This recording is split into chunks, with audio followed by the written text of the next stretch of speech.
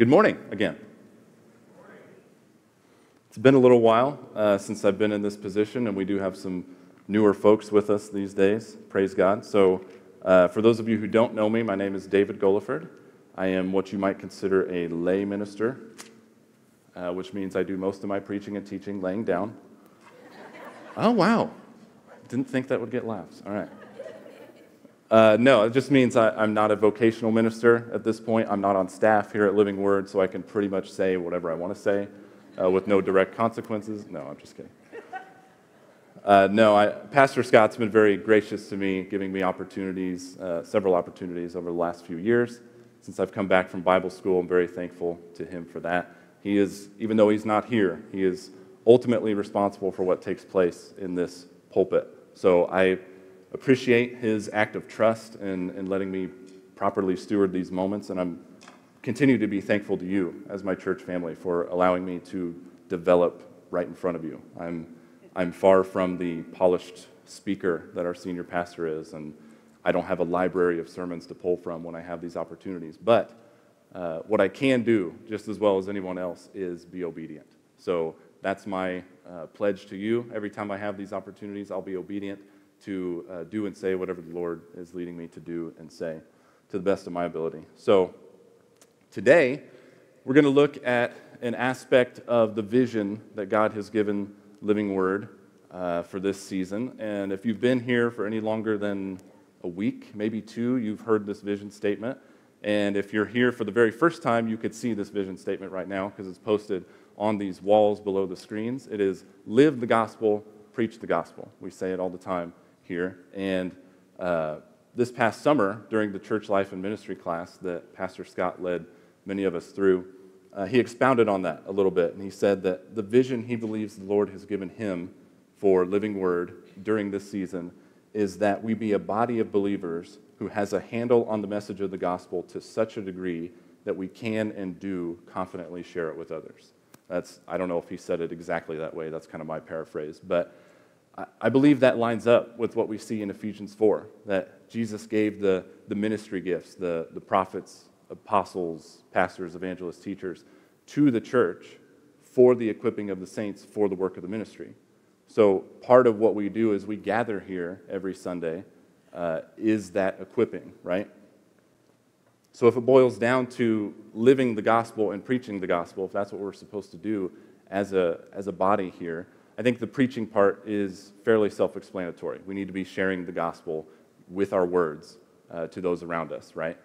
But the living the gospel, what, what does that look like? Um, to live the, the good news of Jesus, what does that actually look like? It means we need to live out what we believe to those around us, which sounds like a good answer, but what, is that, what does that actually mean? What does it mean to live what we believe? Does it mean to to take a stance against the sin that the world around us so readily accepts and celebrates? Sure. It doesn't mean to stand out, to live a life of holiness that separates us from the world around us? Sure. But it also means living the abundant life that Jesus came to give us, according to John 10 10. It's not good that we blend in with the world around us when it comes to these issues of sin and, and holiness, but it's also not good that we blend in with those around us that our enemy is stealing from and killing and destroying when we've been giving, given the very life of God to live here on this earth, right? As believers, we should stand out. We believers should be the best in every field. We should be the best students and athletes and actors and plumbers and doctors and everything else, all for the glory of God. That's living the gospel, putting Jesus on display for those who are in our spheres of influence. So, how do we actually obtain this abundant life? How do we effectively live the gospel? The title of my message this morning is Possessing the Promises of God. And I believe it goes right in line with what Pastor Scott has been teaching over the last several weeks and months about faith. And uh, if you have a Bible this morning, we're going to be taking a, a journey through the beginning of the book of Joshua. You can make your way there. And what we're going to do is look through the first several chapters for principles of possessing the promises of God and, and walking in his abundant life. And we're going to spend the bulk of our time. We're going to look at other verses, but I would recommend if you are following along in a physical Bible, just stay in Joshua. That's where we'll be for the most part.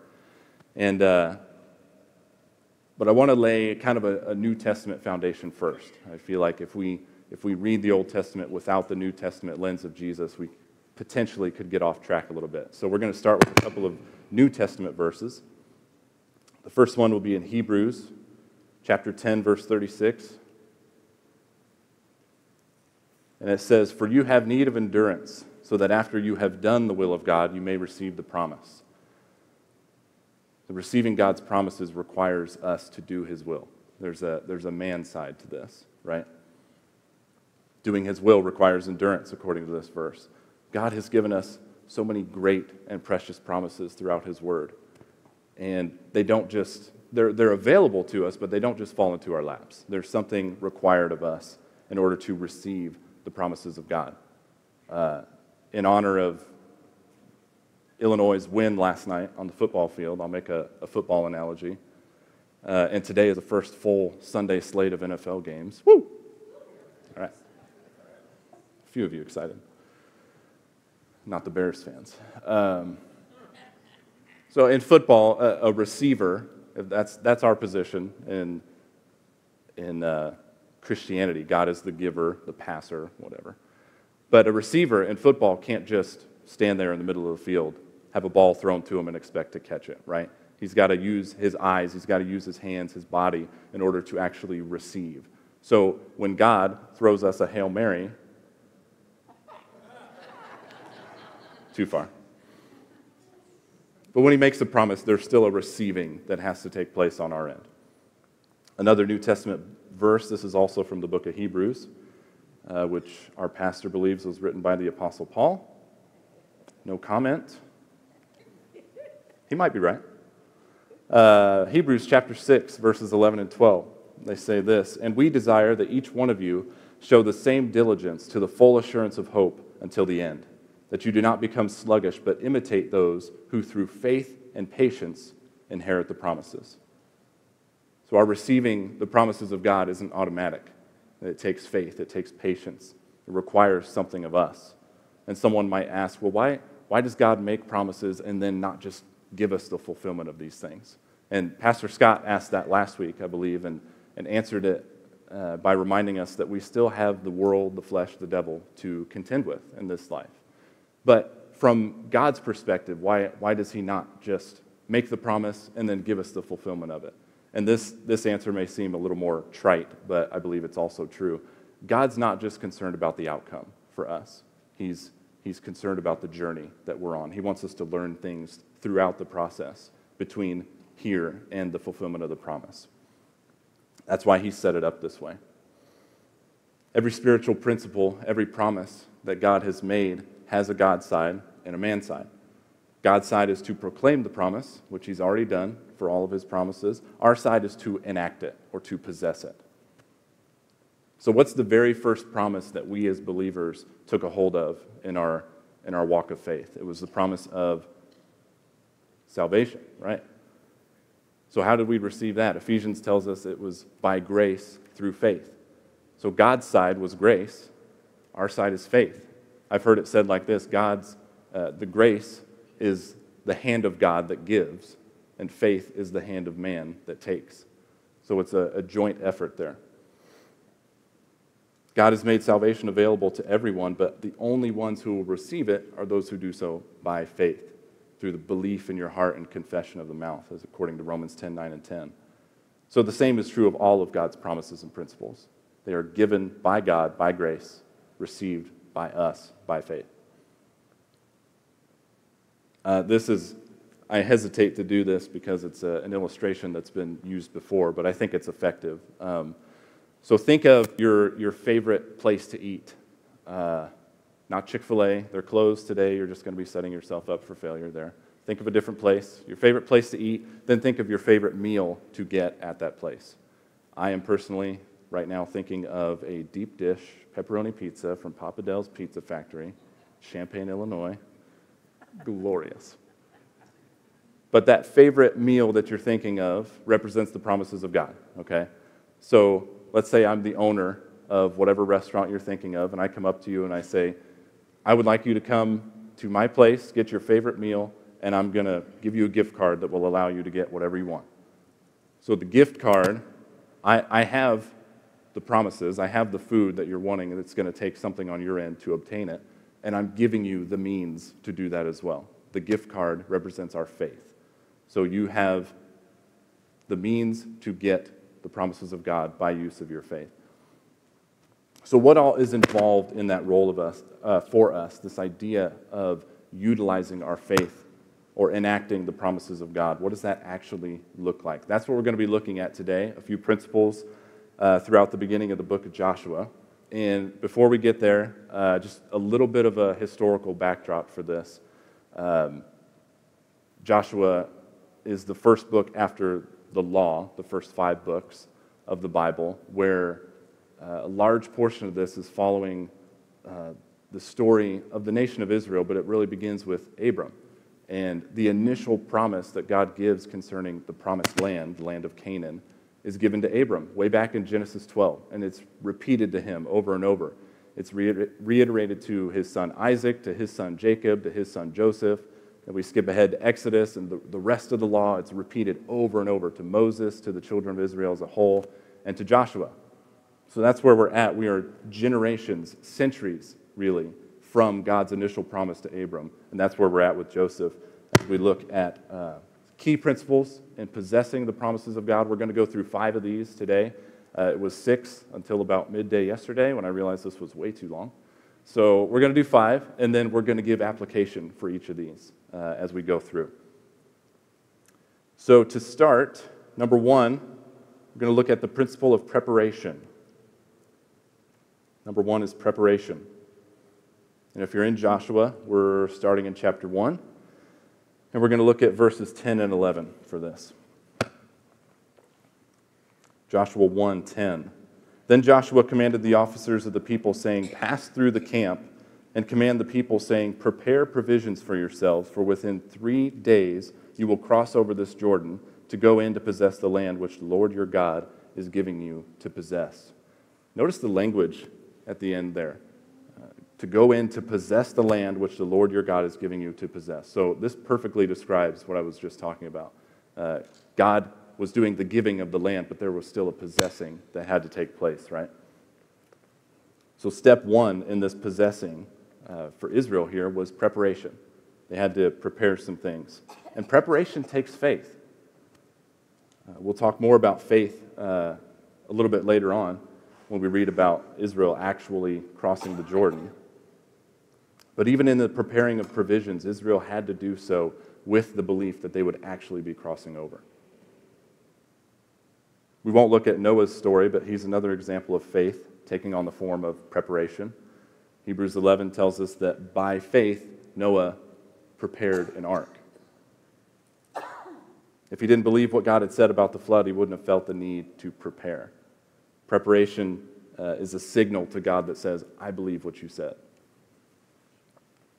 So I want you to be thinking of, not just in this point, but as we go through the message, be thinking of something that um, maybe a promise from God that you've been waiting on for a while. Um, something either from His Word or something He's spoken to you.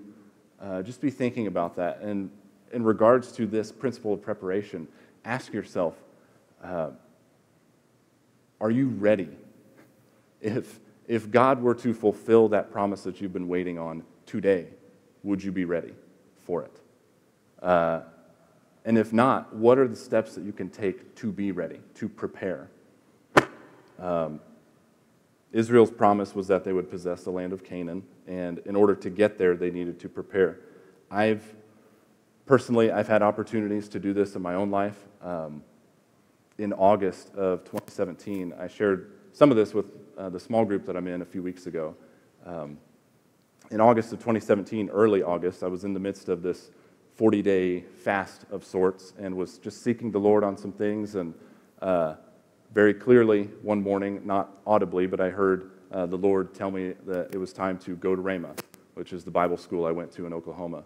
And in the back of my mind, I, I'm a very, most of you know, I'm a very scheduled, routine person. I like to plan, I like to know things ahead of time. And I know in the back of my mind when he tells me this, I'm like, Rhema starts like right after Labor Day. And I'm, this is early August, so I'm like, hmm, there's a little bit of panic mode that sets in. I'm like, God, do you mean this year? And he said no. And he told me I would need a year to prepare practically and spiritually.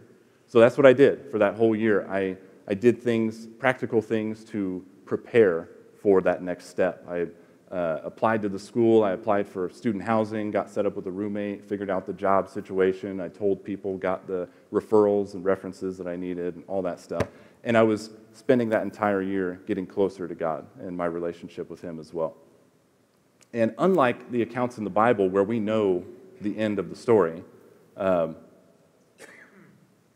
sorry, like the accounts in the Bible where we know the end, I knew that this had a timed end to it. I knew when I would be going to school, but I still spent that time preparing. And all of that preparation set me up to step into that season in the best possible state. The more prepared you are, the more enjoyable the end result. Uh, when I come here on the Sunday mornings that I am playing the drums, if I come in here not knowing my stuff, I haven't practiced at all, I just kind of think, yeah, I know these songs well enough, I'm not prepared, and therefore I'm going to be thinking about what I'm doing the entire time that we're worshiping. I'm going to be thinking about doing the right things at the right time, not messing up. If I come in prepared, well prepared, practiced up, prayed up, worshiped up, I'll be able to focus on Him during the time of worship, which is as it should be, right? The more prepared you are, the more enjoyable the end result. And again, since, since football's back, I'll just go ahead and say this. This has nothing to do with my message. But preparation is what makes Peyton Manning the best quarterback of all time. Right? That's right. Huh? Okay, get thee behind me. It's my favorite quarterback of all time. How about that? All right, so application for this principle of preparation. Um, what does this look like? Uh, the application here, I would just say answer that question that I asked before. If, if you don't feel like, if there's some parts of your life that aren't quite ready for the fulfillment of the promise you're waiting on, take the steps necessary to get there. Do the little things, or in Noah's case, the big things. Whatever it is God's asking you to do, don't ignore the small promptings, right? Uh, he wants to lead us to the fulfillment, and He also wants to lead us in our preparation as we get there. Uh, God gave me a little over a year warning about Rhema. Joshua uh, gave Israel three days to prepare provisions. Whatever amount of time you have, you may not know what that is, but use it wisely. Use the time wisely between the promise and the fulfillment. You may be sitting on a promise from God and you don't know when the manifestation is going to come. And He may be asking you to do things that seem like they have nothing to do with the promise you're waiting on, but obey anyway. Don't ignore the small promptings. I think it's easy to get distracted by the big picture and ignore where we're at here and now. But uh, every puzzle is put together one piece at a time. So just take the step that's in front of you, whatever He's asking you to do. Principle number two this morning is the principle of remembrance. First one was preparation. Now we're moving, we're moving on to remembrance. These aren't linear, they're just kind of how they show up uh, in this story that we're following in Joshua. And we'll continue in chapter 1, going now to verse 13. This is Joshua speaking, and he says, Remember the word which Moses, the servant of the Lord, commanded you, saying, The Lord your God is giving you rest and is giving you this land. Now, in context, Joshua is saying this to the two and a half tribes who had decided to settle on the east side of the Jordan. Um, those two and a half, Reuben, Gad, and the half tribe of Manasseh, under Moses' leadership and with God's approval, they had decided to settle some land on the east side before crossing over.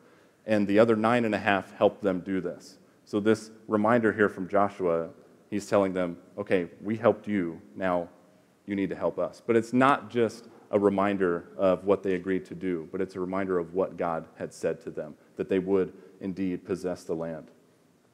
It is vital in our lives that we keep God's promises before us. His word is truth. When we're when we're facing a lie or a battle or a difficult situation, we have to remind ourselves of His truth. God has given us so many instances in Scripture that tell us who He is and tell us who we are in Him. And in fact, there's a, a mini book that's pretty popular around here by Brother Kenneth E. Hagin called In Him. It's a super short book, takes probably 15 minutes to go through, but towards the end, there's over 200 references uh, of scriptures of who we are in Christ. And if it's been a while since you've done like a self review in that area of who you are in Christ, I encourage you to pick up a copy of that and just go through it, go through those scriptures, find out what God has said about who you are, right? Who has never read in Him? Who's never, does anybody not have that, not have a copy of that? Well, I wanted to feel like Oprah this morning. So I bought five of these on Amazon. But it's going to take faith for you to get these. So whoever wants these, they're up here. Wow, nobody. No, it's going to take faith. It's going to take some action. There we go. Way to go. You get an in him, and you get an in him. All right, that's five.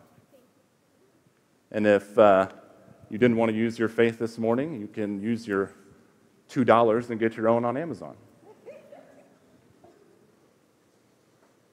Remembering God's promises and possessing God's promises go hand in hand. Uh, let's look at a, passage in the book of James, real quick, that shows us this. James chapter 1. We're going to read 22 through 25. James says, But be doers of the word, and not hearers only, deceiving yourselves. For if anyone is a hearer of the word and not a doer, he is like a man observing his natural face in a mirror. For he observes himself, goes away, and immediately forgets what kind of man he was. But he who looks into the perfect law of liberty and continues in it, and is not a forgetful hearer, but a doer of the work, this one will be blessed in what he does. So those who hear only are forgetful, but those who hear and do uh, safeguard themselves against forgetting. And if you ever feel like, man, I just I have a hard time remembering uh, God's word, let me remind you of this verse in John chapter 14, verse 26. Jesus says this, "But the Helper, the Holy Spirit, whom the Father will send in my name, he will teach you all things and bring to your remembrance all things that I said to you. So it's our responsibility to put the word in us, and it's the Holy Spirit's responsibility to bring it back to us, right? So, what's the application here for this principle of remembrance? Uh, it's twofold today, and, and I think doing the first one inadvertently helps us do the second one. So, the first part, uh, I think one of the most simple and effective ways to keep the promises of God before us is to speak them out. And that's something Pastor Scott has been talking about recently, speaking out what is in you. And this is naturally going to happen. Out of the abundance of the heart, the mouth speaks. So put the word in you and let the word come out of you. Uh, the numbers here uh, may vary based on where you're looking, but it's generally believed that we remember about 10% of what we read, uh, 20% of what we hear, but 70% of what we say. So, uh, going back to James, I, I don't, I don't want to be a forgetful hearer and forget about 80% of what I hear, but I would rather be a remembering doer. So part of that is saying these promises of God. And then the second part of that, uh, which I think will just be a natural outflow of the first, is put Scripture to memory.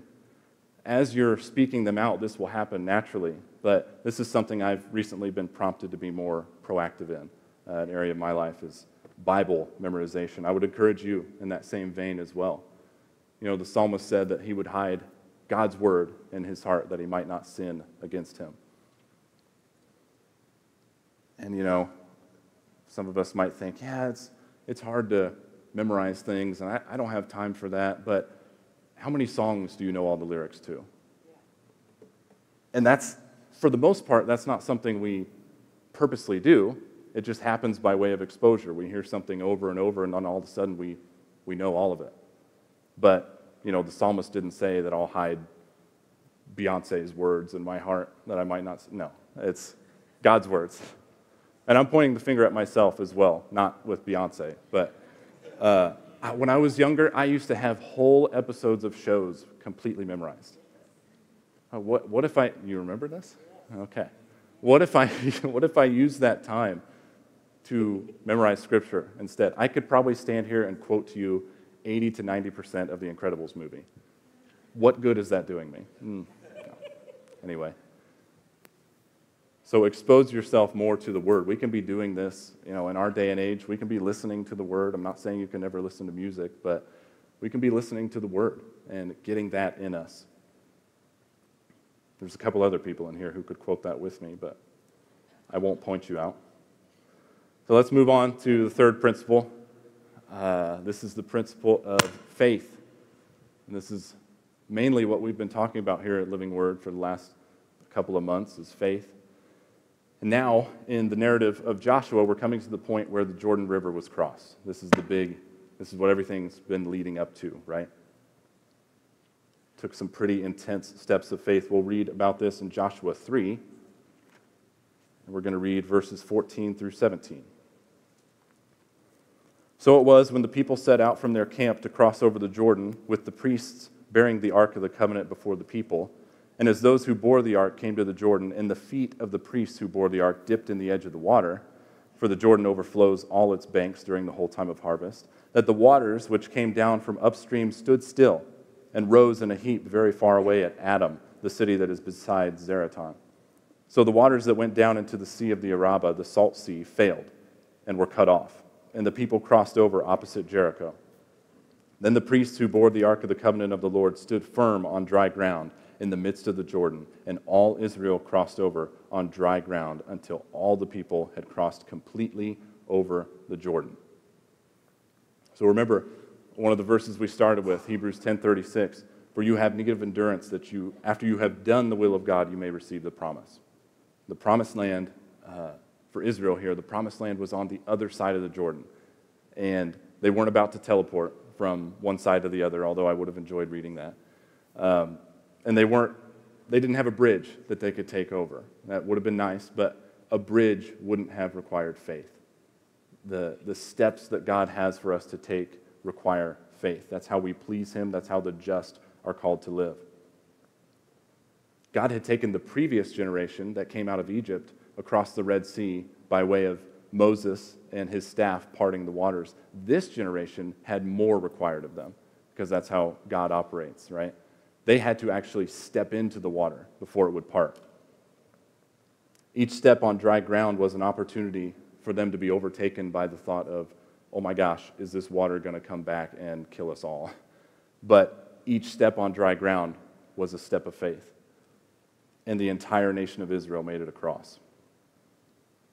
And this wasn't the only time that God would ask Israel to do something kind of ridiculous. Uh, we're not going to read about it today, but probably the most famous account in the book of Joshua is the story of Jericho. And God instructs them to do something that is maybe a bit counterintuitive. Uh, rather than, you know, go with an army ready for battle, they're marching around the city and shouting. Seems a little, little ridiculous, but they followed through and they gained the victory there as well. So, what else could this look like in our lives? I, I think sometimes we read, like Pastor Scott did last week, most of, or not, if not all of uh, Hebrews 11 that he read last week. I think we read those accounts and we just think, wow, look at all the big things that these people did uh, by faith. And they're real accounts. Uh, I believe them wholeheartedly, but I'm not facing a river that I have to cross. I'm not being threatened by a king who's going to throw me in a furnace if I don't bow down to his image, right? There's these things that seem so up here, and my life, I'm not facing those things. So I want to, again, not that those things aren't real, but I want to bring this down a little bit, um, maybe to the level where more of us might be. So here's what faith is looking like in my life right now. And I'm not going to go into detail for the sake of time. Uh, but at the beginning of this summer, um, at the Lord's prompting, I made a very difficult decision that from the outside looking in, if people were to view my life and see this decision before me, they would maybe encouraged me to go the other way. That's, that's probably what would have made more sense to most people. But God directed me elsewhere. And that was a, a difficult decision. It was one of submission, uh, and it was one of faith.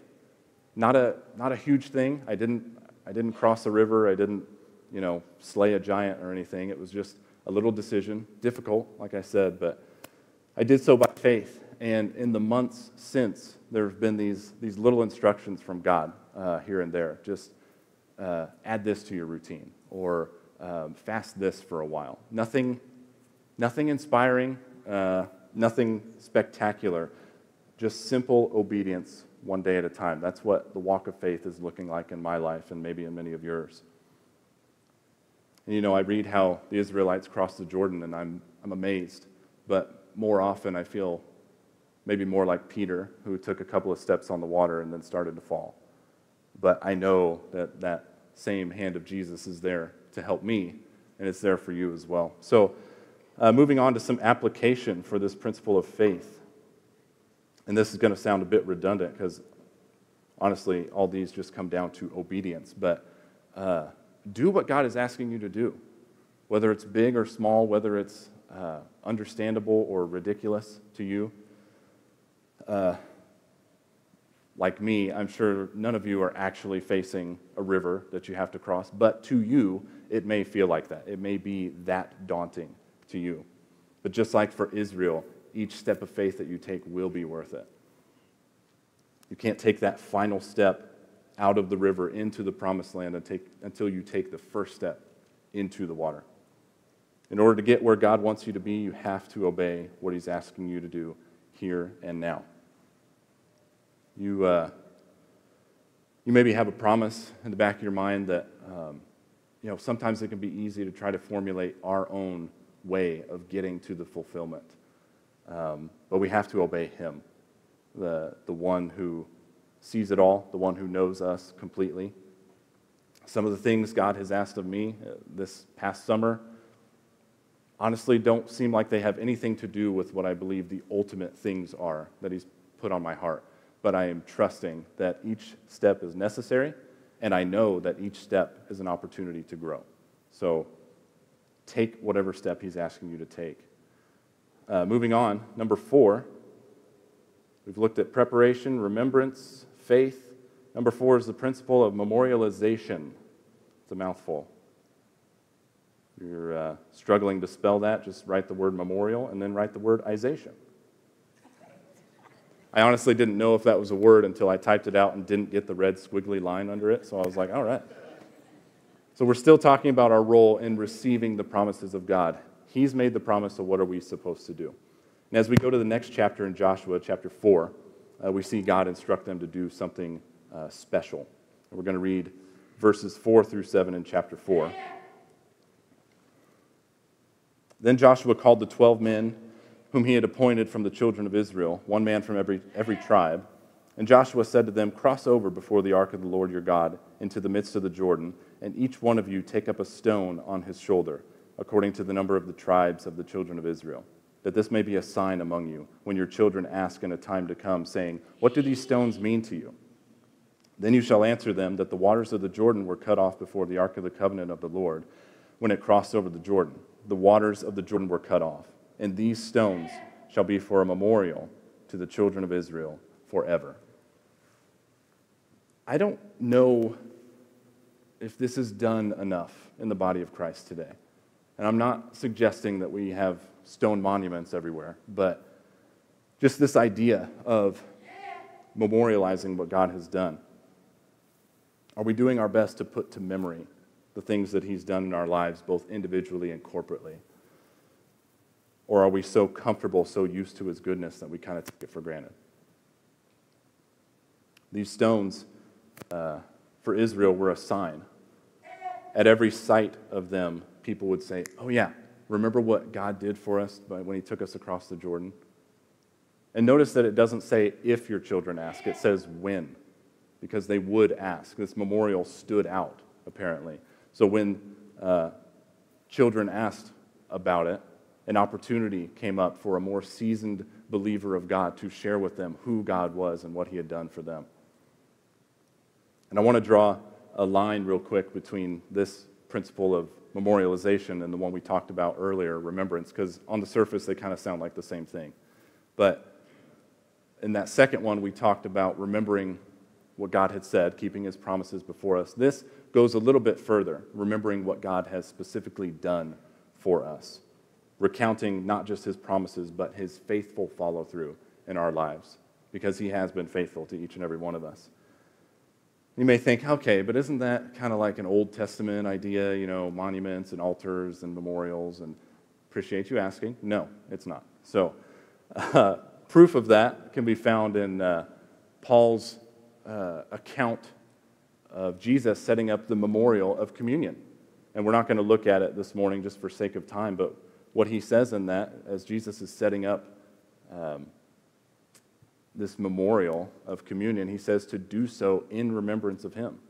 So it's not just us um, coming together and hearing about what God has done, which is great as well, but it's, it's something physical that we're partaking of to remind us of what he's done for us. And it can be a teaching moment as well. You know, when our, when our children ask what we're doing, there's a great opportunity to tell them just what Jesus has done for us, right? It's easy to become familiar with these things, but as we participate in, in them, they serve not only as memorials to what God has done for us, but also as boosts to our faith. Reviewing what God has done for us propels us forward into what He can and will do for us. So, application for this principle of memorialization. This is my favorite. Uh, a couple of things here. The first thing I'll say is keep a journal. And you may be out there, David, I'm a man, I don't journal. I, I, I used to feel the same way. I used to think journaling was uh, feminine and emotional, and I have since found out that masculinity and emotional awareness actually pair quite nicely. So I journal. Um, I'm not afraid to say it. Sometimes when we experience God moments throughout our lives, we think, man, I'll never forget that. We're so impacted that we just think, I'll remember that forever. And then time passes and we forget. And Israel is a perfect example of this. They experienced miracle after miracle in the wilderness in Egypt, and then they turn around and complain to God and they they magnify Egypt as this great place that they were in, completely forgetting what God had done for them. But Psalm 103 2 implores us to forget not all of his benefits, right? You remember the, the account in Exodus 17 where uh, Israel is fighting the Amalekites in the valley, and this is the battle. Joshua is actually leading the battle, but it's the one where, as long as Moses' arms were raised, they were victorious, but if they were lowered, they would experience defeat. Uh, I want to look at one verse from that chapter. It's Exodus 17 14. Says, Then the Lord said to Moses, Write this for a memorial in the book and recount it in the hearing of Joshua, that I will utterly blot out the remembrance of Amalek from under heaven. Write this for a memorial. Another version says, Write this on a scroll as something to be remembered. Uh, the David International Version says, keep a journal. This is, if, if you're one of those thinking, I'm a man, I don't journal, hey, his words, not mine. This is something God clearly wants to do, wants us to do. Keep a record of the things He's done for you and review it. Uh, another potential application, this might look different for uh, different individuals, but I think visual reminders are very powerful. Um, I've got a couple of things in my house, really two of the only decorative things I have in my house at this point, that uh, have my favorite scripture on them 1 John 4 19. We love because he first loved us. Uh, it's just a reminder when I walk into those, those rooms, like, oh, yeah, this is something that God has done for me. Really, the most important thing that God has done for me. He's loved me. And, uh, you know, it's great to keep a journal and review it, but you have to be pretty purposeful with that.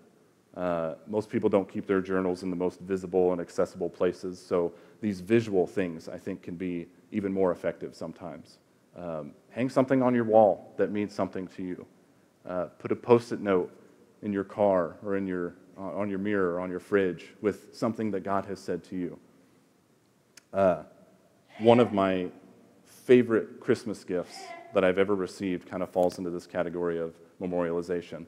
And uh, it's been several years, uh, but back in the day, uh, I did some songwriting. And one of the very first songs I wrote, Zach and I actually had a chance to record many years ago. And one of the repeated lines in the chorus is, I give my life to worship you, Lord. And the gift that I got through Zach's help and the creativity of my cousin Nicole was a plaque that had that line on it. And above the line was an image of the audio file of my singing of that line, which I was just like blown away by the creativity of that. But that hangs up in my music room at home, not as a, a memorial to, oh, I wrote a song, but as a memorial to why I'm here on this earth. It's a visual reminder. That's right, I'm here to worship my Lord and my God. There's all sorts of ways to be creative in this um, idea of memorialization. And if God prompts you to put a pile of rocks in your living room, go for it. But uh, for real, I do encourage you to take some time this week and just think of how you can do this in your own life, what this would be for you. And that brings us to the fifth and final principle in this message, which is the principle of confession. Um, sometimes, you know, we can be going along in our, our walks with the Lord and we hit a bump on the road and we get tempted by something and uh, take a step off of the path, right? This happened to Israel in Joshua chapter 7. They, uh, they had already crossed the Jordan, they had already defeated Jericho, again, which we uh, mentioned. And now they were headed to the next city that they were going to conquer, which was Ai, which has nothing to do with artificial intelligence. Uh, or maybe it does, I don't know. Joshua sent spies out to Ai to see uh, what Israel would maybe need to do in order to overtake them.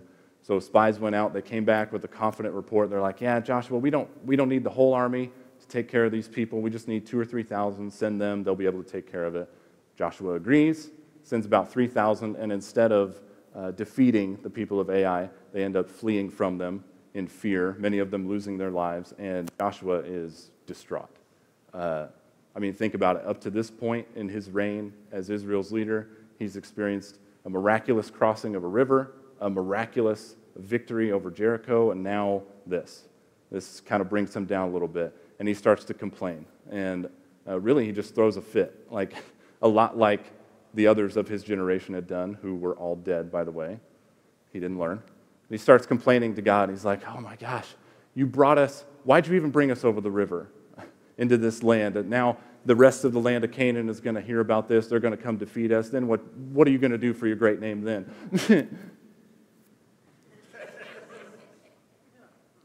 and I love, I love the Lord's response to Joshua in, in Joshua 7.10.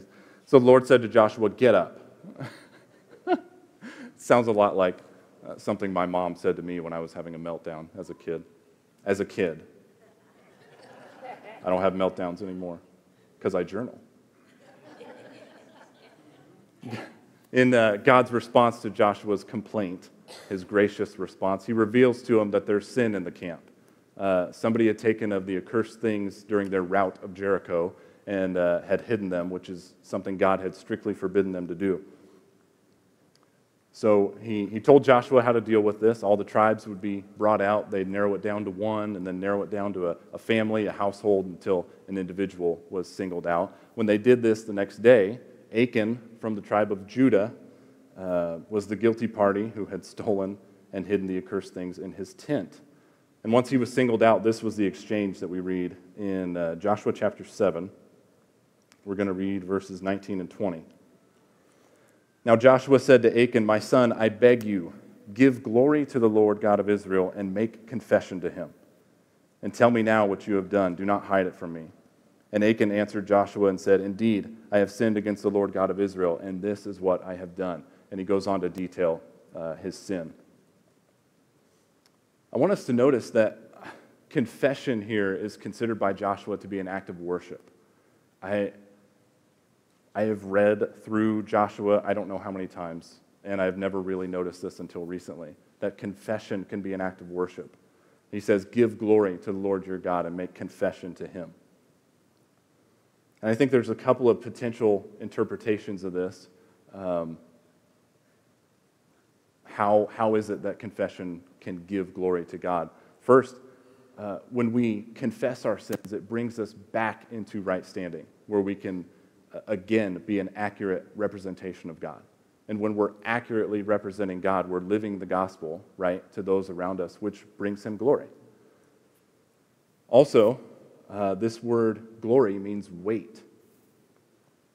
So when we sing songs that say, All the glory is yours, or You deserve the glory, we're saying, we're telling God that He holds the most weight in our lives and that He deserves to, right? Nothing holds weight compared to Him.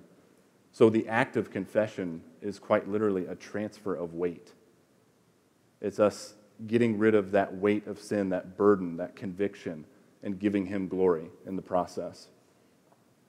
Confession tips the scales back in God's direction as we say, God, forgive me for not honoring you in this area here. I want to get back on the right path and honor you. And in doing so, we give him glory. Now, uh, we are living in the New Testament era uh, where our confession is met with God's faithfulness to forgive, according to 1 John 1 9. Pastor Scott just texted me asking how it's going, if you want to know. So let me just respond to that real quick. Just teasing. Whenever we confess, God looks at the sacrifice that Jesus made and sees that it is still finished, right? He's still texting me. I'm going to put this on Do Not Disturb. that was a mistake.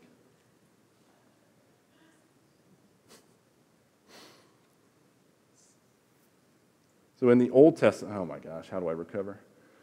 All right, so as we are now in the New Testament, that's how our confession is dealt with God seeing the sacrifice of Jesus, right? In the Old Testament, though, which is where we're at reading Joshua, whenever there was sin, there had to be death. And this was sometimes in the form of you know, animal sacrifices or something else, but sometimes it was also the putting to death of the one who had sinned, which seems harsh, and you may ask, well, how could a, how could a loving God possibly do that? Hey, I'm a lay minister. You ask Pastor Scott that. So I don't get paid to do this. After, after Achan had confessed, um, Joshua still had to deal with him in the way that God had told him to. And uh, this is my, one of my cousin Alex's favorite portions of Scripture because it goes on to say that they took Achan and his things and put him in the valley, and they stoned him with stones and burned him with fire. So they didn't stone him with something other than stones or burn him with something other than fire. They wanted to be very clear on that. But after all this goes down, after the sin is officially dealt with, the very next verse says this in Joshua 8, chapter 8, verse 1. It says, Now the Lord said to Joshua, Do not be afraid nor be dismayed. Take all the people of war with you and arise. Go up to Ai. See, I have given into your hand the king of Ai, his people, his city, and his land. So once Israel's sin was confessed and dealt with, they got right back on the path that God had for them. And that same opportunity is available to us when we sin, when we confess our sin, right? Uh, the praise and worship team, you guys can uh, make your way on back up here if you would, please. So, what's the application for this principle of confession? Well, it's the easiest one we've looked at so far this morning. The application is confess. Confess. The Bible tells us that all have sinned and have fallen short of God's standard of righteous living. And sanctification is a process, right? It's something that begins when we are born again and doesn't end until we see Jesus, according to Philippians 1. So it's a process that we'll be involved in for the rest of our lives. If you've been saved for 50 years, uh, you still fall short every now and then, right? We still have the world, the flesh, and the devil to contend with while we're here on earth. And God knew that we wouldn't live out these lives perfectly, so He set up this avenue of confession for us. Even uh, worldly organizations concede the fact that uh, admitting you have a problem is the first step to healing, right? I fall short all the time, but God never does. Let me read you one more verse out of the book of Joshua. It's towards the end, and this is during Joshua's final address to the people of Israel before he dies. It's in Joshua chapter 23. And it is verse 14 that I want to read. He says, Behold, this day I am going the way of all the earth.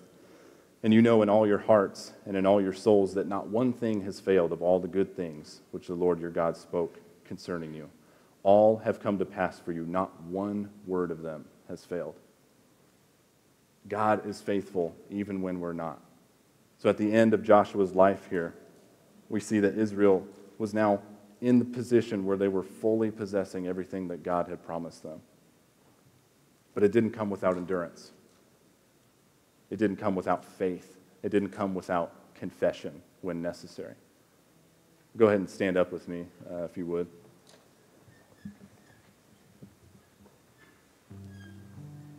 So, in this moment, uh, I want to present an opportunity to actually apply this, this application of confession. The rest that we went over were kind of more take home things that you can think about maybe today or the rest of this week.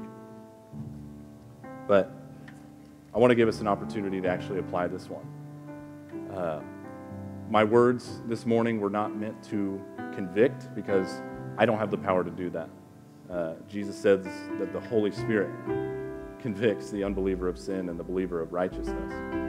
So if there's something that the Holy Spirit has used that I've said, um, and He's attempting to maybe shine some light on corners of your heart that you've maybe tried to keep hidden, it's probably a good indication that you need to confess something this morning. And if right now you're, you're thinking in your head, trying to talk yourself out of that, that's a better indication that you probably have something you need to confess this morning.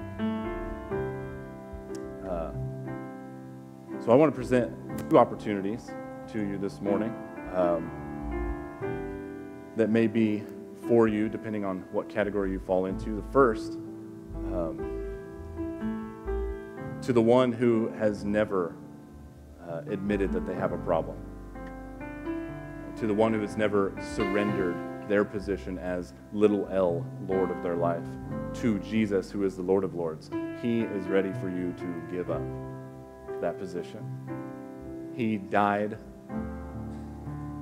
so that you could have this life that I've talked about this morning. Ephesians says, By grace you've been saved through faith, and that not of yourselves, it is a gift of God. So again, God, by his grace, has given us, made available this gift of salvation. And now it's your turn to use your faith to receive it. It's not a gift I can give you, uh, but if that's for you this morning, I would be honored to uh, lead you to the giver of that gift in prayer this morning. So if that's you, I'll start thinking that intimidates you, find me after service. I would love to pray with you uh, in any context. Uh, just know that the Lord does require a public profession from you at some point. Uh, the second invitation to the one who is walking with the Lord but needs to make things right. Uh, you've taken a step off the path, and it doesn't have to look like uh, some rank sin that you've fallen into. It could just be, you know what, I, I love the Lord. I've been walking with him for however long, and there's this one area that I've kind of kept from him. Um, and I'm not fully walking out the abundant life that he has provided. I'm not living the gospel the way I need to. I said earlier that in the Old Testament, whenever there was sin, there had to be death. Now, on this side uh, of the cross and the resurrection, Jesus was that final death sacrifice for us whenever we confess. Again, according to 1 John 1 9, God is faithful to forgive and put us back in that right standing. He hasn't left you, so don't leave him. So for, for those who need to respond in that to that second invitation, as we sing I just want us to take a couple of moments. This is something you can do from right, right where you're at, uh, if you'd like to. But to moment, I would encourage you to come down to the altars as well. I think that might cement this moment for you a little further, even. And then you can go home and journal about it, right? So if you need to respond to either of those uh, invitations this morning, please do so. Uh, let's go ahead and pray. Father, thank you for everything you've illuminated to us in your word this morning. We thank you for giving us Jesus. Thank you for the free gift of salvation. God, there's nothing we can do to earn it. You've even given us the faith necessary to receive it, Lord. We thank you for that.